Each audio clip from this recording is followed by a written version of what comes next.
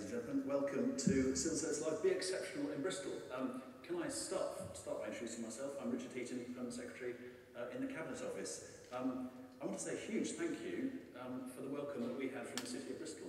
Uh, in particular, thank you to the Lord Mayor uh, and to the Royal Marines. Um, I tell you, Gateshead was a great occasion. Uh, on Monday, London, London was fantastic yesterday, but the start that we've had today, the welcome was just tremendous. Um, so huge, huge thank you. It felt fantastic. And it's fantastic to be in such an amazing, such an amazing venue as this. Backstage, I tell you, there's a list of people who appeared on the stage, and Steve Coogan and Black Sabbath and all sorts. So um, let's hope we can live up to that. Um, big thank you to the City of Bristol. It's fantastic to be here. Um, uh, and just on the Royal Marines theme, um, just a reminder that um, there are civil servants serving as reservists uh, with um, the armed forces.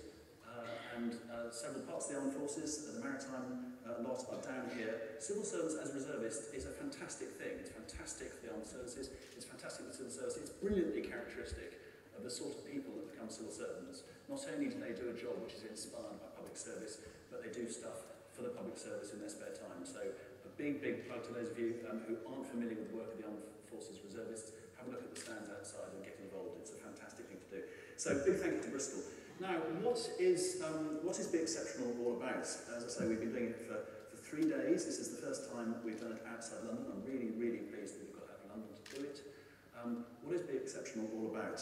First of all, it is about um, the civil service that we all are part of and we all probably in different parts uh, love and admire. Uh, we've all got different relationships with the civil service. I've been a civil servant for uh, 22 years. Um, I've always been proud to call myself a civil servant. I've always been proud of the service. I've always been inspired by it, uh, impressed by it. I've been supported by it. I've been encouraged by it. Um, I've been frustrated by it, sure, but it's civil servants. Civil service are two words that have always filled me uh, with pride. Um, just tell you a quick story from last Saturday uh, in London. There was the Pride March throughout central London, and a bunch of civil servants in purple t-shirts uh, marching, parading under the civil service banner. And that moved me for all sorts of reasons, partly because um, there were visible um, gay and lesbian civil servants in the Pride March, but they were wearing the civil service t-shirt, which hasn't happened before. And it was just, it was just fantastic to see people walking through the streets of London um, saying we're proud to be civil servants, proud of what we do. Uh, that was a really, really great moment. So this is about the civil servants, your civil service, our civil service, the civil service that we love. The United Kingdom civil service, the service that's the Prime Minister and the DPM said on that video clip, um, the country needs and depends on. Uh, it's a fantastic profession to be a part of. Uh, and as I say, I've always been inspired by it, and I'm now, um, I feel kind of privileged and humbled to be part of its collective leadership. It's also about, this day, be exceptional, it's about um, a civil service which is great, um, which is capable of doing great things. Um, the work we do, you all know this, I know it, the work we do is really important. Uh, we do it well. We do it really well. Very often we do it quietly, uh, effectively, without much fuss. Um, often, every day, across the country, we are truly exceptional.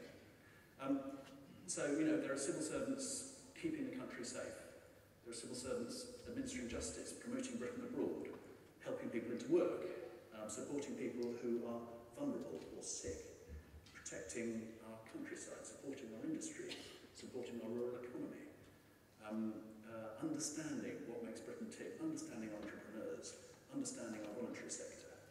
Really, really important stuff. There are civil servants working at the border, uh, in prisons, job centres, civil servants doing brilliant analysis, superb analysis, civil servants commissioning and delivering, as Jonathan said on that clip, world-class projects.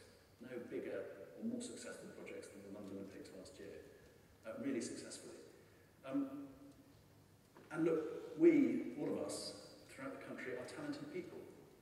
Uh, doing great, sometimes, let's face it, unglamorous things, um, but driven by a kind of collective feel for the public service that isn't always you know, visibly passionate. Sometimes it's just characterised by a sort of unassuming, quiet uh, commitment.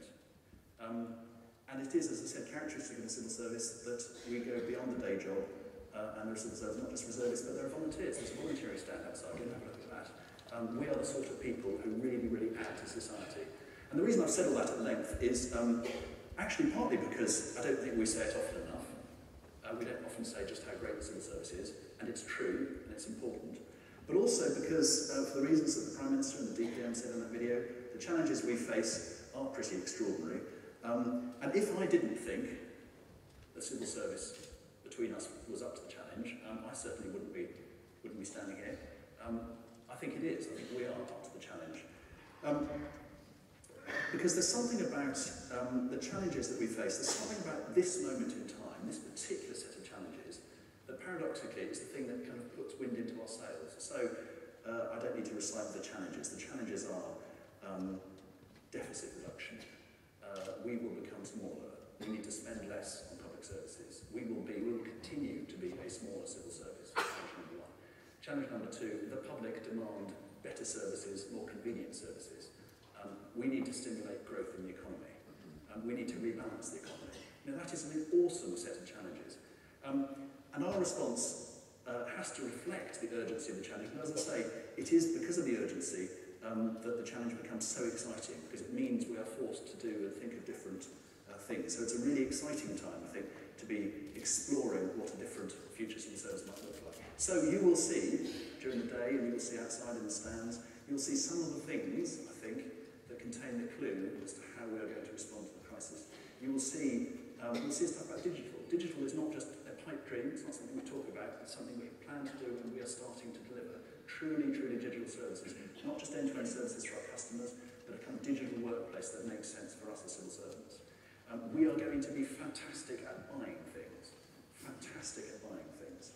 Razor sharp on providing value for the uh, we're going to be, in the service of hungry for new ideas, because we need new ideas. We can't deliver against those challenges with just the existing stock. We need new ideas. So ideas like open policy making, um, big data, uh, social investment, uh, mutualisation, different ways of delivering services that aren't just in the public sector or in the private sector, but somewhere in between the two. Innovative ways of responding to the voluntary sector, work with the voluntary sector, working with the private sector. In the old days, we used to work with the private sector as big companies, big monopoly contracts, um, and we either privatised or outsourced, and it was pretty binary, it wasn't very great service or value for money. Our understanding of the private sector is going. Uh, working with SMEs, making our procurement process work for SMEs, that sort of thing, that sort of innovation, a different way of working, uh, is going to be the characteristic uh, for us. We're going to be one civil service.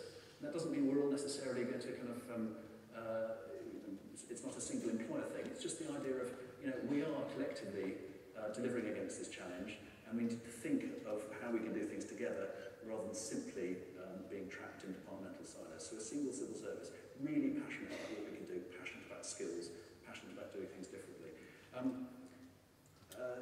the skills in the Success Reform Plan, the skills that we think we are lacking, um, digital skills, commercial skills, procurement skills, change management, project management. Um, but also we're going to rely heavily on existing professional skills, analytical support, legal support. We're going to be some service that's characterised by really, really great professionalism, as well as, not a dirty word, it's really, really great generalism uh, as well.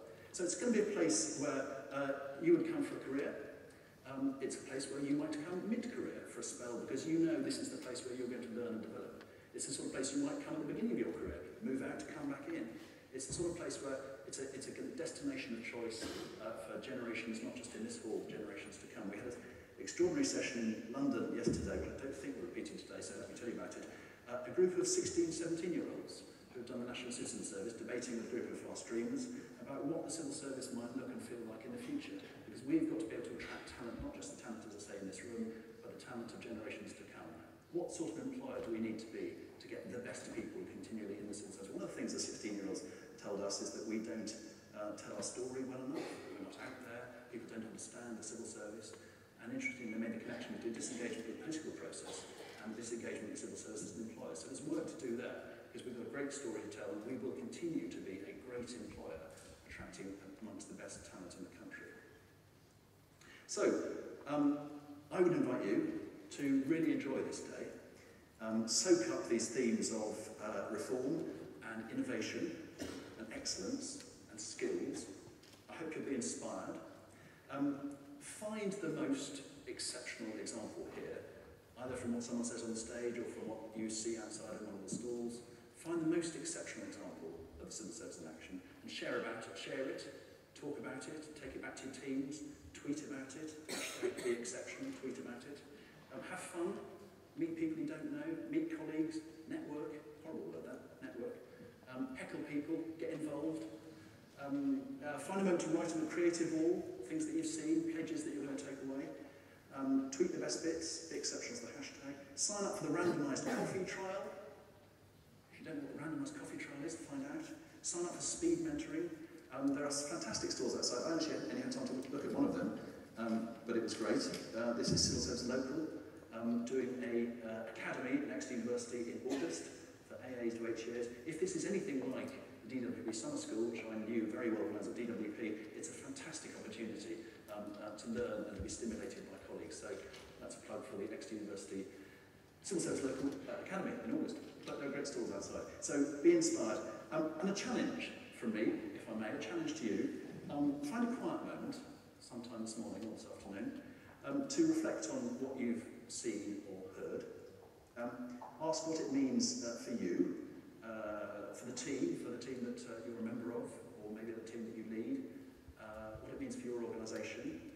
Uh, where does your organisation fall short on some things we're talking about, some skills, digital perhaps, commercial procurement perhaps, um, change management. So ask what it means for you. Uh, how will you help us, the civil service collectively, because believe me, this is a collective effort, how will you help us meet the challenges uh, that we face? Will you, be, will you be open to new ideas? Are we going to be ahead of the curve, or are we going to be always catching up as a service? Will you be ahead of the curve? Um, James Purnell, who spoke to us yesterday, used this phrase about um, think where the ice hockey phrase, think of where the puck is going to be, not where the puck is. Are we going to be ahead of the curve, capturing the new ideas, harvesting the new ideas, or are we going to be behind? What will you do to help us get there? What will you do to help us create a unified, exceptional civil service? How will you personally improve? So that's, that's the challenge. And then please, um, at the end of the day, as I say, have a fantastic day.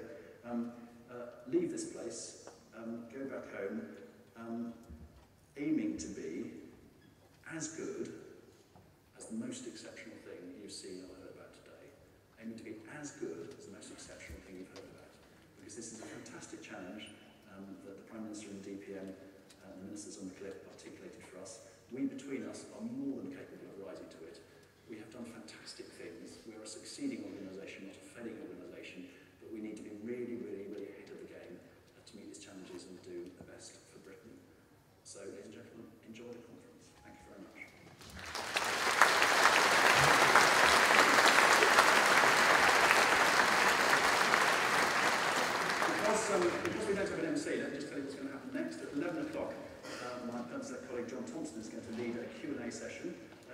Chris, who's going to give you his thoughts about self-service transformation, and then there's going to be a question and answer session, so I think we've got a bit of a break until 11 o'clock. Um, so go and enjoy some amazing stalls, and of have a fantastic day. Thank you.